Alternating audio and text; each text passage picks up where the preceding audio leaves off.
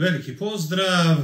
Crvena zvezda je izgubila od Valencije utakmici u kojoj je gubila od početka do kraja, bila na domak toga da ukrade pobedu.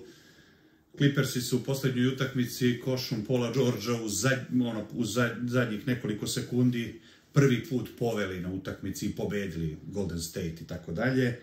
Zvezda je eto, došla na domak toga da utakmicu koju je gubila većim delom, čak i dvocifreno, 16, 16 ili više poena razlike, na kraju ukrade. E, Zvezda nije uspela to da ukrade zato što je jednostavno katastrofalno e, šutirala za tri poena u odlučujućim trenucima. Teodosić, znači ovaj tim Valencije se nudio što bi rekli ono, očajnički se nudio da, da izgubi ovu utakmicu. Ljudi su hteli da izgube, ali prosto nije imao ko da prihvati. Dakle, zvezdina rupa postaje sve problematičnija, ako me razumete. Ova utakmica je 12. utakmica, igraće se 34 u regularnom delu sezone, to je već preko trećine sezone prošlo, zvezdina rupa sve dublja, E, potvrda da promjena Duška Ivanovića kao trenera nije donela ni šok, ni seriju pobjeda, ni seriju pozitivnih rezultata. E, tako da konačan rezultat je 85-81 utakmicu koju Zvezda nije vodila, a u kojoj je imala posebno u četvrtoj četvrtini, ja mislim, dvocifren broj prilika da ovu utakmicu ukrade, ali to govori o jednoj koncepcijskoj grešci ovog tima koji nema e, pobednički mentalitet, koji nema e, e, lidera sposobnog da ovakve utakmice iznese i ukrade. Tako da malo prođemo samo kroz ovu statistiku.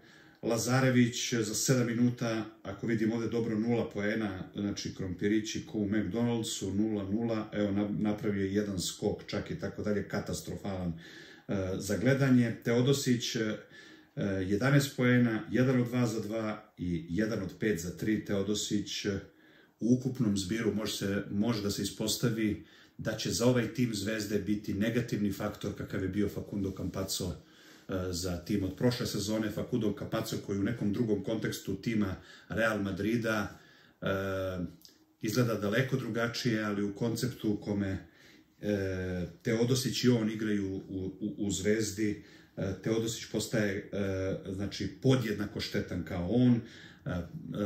Vidite, znači, to su šutevi, trojke, levo, desno, znači jedan od pet, mislim čovjek, ko će da pogađa ako neće on. Davidovac za 26, poena, 5, 26 minuta 5 poena, opet jedan od 5 za 3, ako dobro vidim, ili jedan od 3 za 3, izvinjavam se, znači nije ni šutirao puno.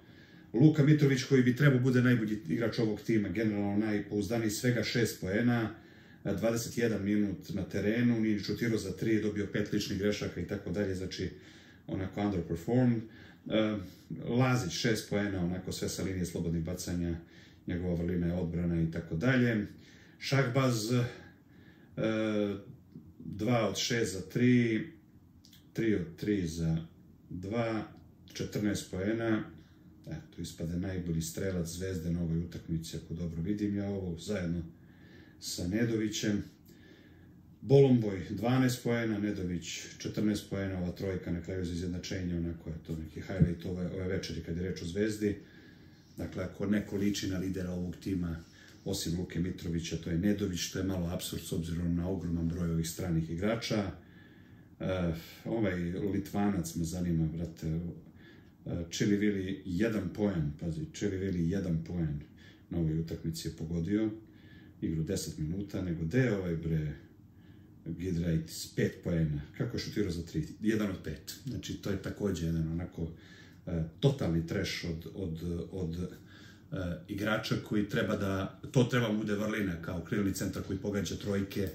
Mislim, koliko šansi jednom timu treba da pružiš da bi jedan tim koji se nudio, koji je evo pobedio 4 poena razlike, koliko je zvezda otvorenih trojki promašila na ovoj utakmici, Mislim, to je onako e, prilično veliki bizar. Ne znam šta vam kažem. Ako, ako dobro čitam ovdje ovu, ovu statistiku, 26,9% za tri poena Zvezda danas šutirala. Nisu ni ovi nešto bili bolji, valjda 30%, ali mislim, e, Zvezdina rupa velika i ono što je gore od ovoga, za dva dana Zvezda će doći da igra sa, sa ekipom Baskonije koja je večeras pobedila Fenerbahče 80-79, jako simbolična utakmica koja u slučaju da Duško Ivanović dobije zvezdu bi mogla da zvezdinu krizu produbi do tačke da zvezda može da se smatra da jednom nogom već e, e,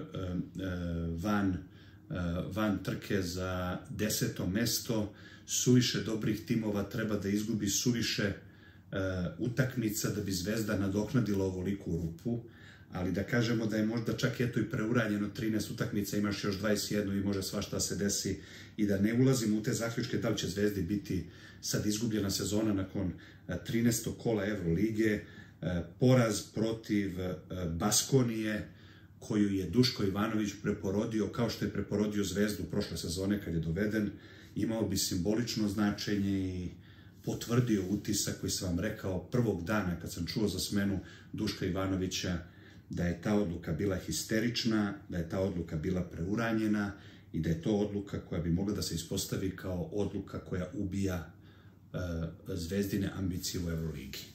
Da je Zvezda dovela previše timova, da e, bilo koji trener na svetu ima problem e, da uklopi ogroman broj novih igrača i da smenjivanje nakon 3-4 kola Duška Ivanovića zato što Teodosić neće da trenira po njegovim pravilima i tako dalje, na kraju možda se ispostavi kao jako pogubna. Kampaco nikad nije pokušavao da, da glumi trenera u Zvezdi, on je došao za ogromne pare, video da je dočekan kao da je izmislio košarkašku loptu i onda se ponašao u skladu s tim, nije mogu to da isprati, ali Teodosićev uticaj i na terenu i van terena mogao bi se ispostaviti kao za zvezdu fatalan ove sezone.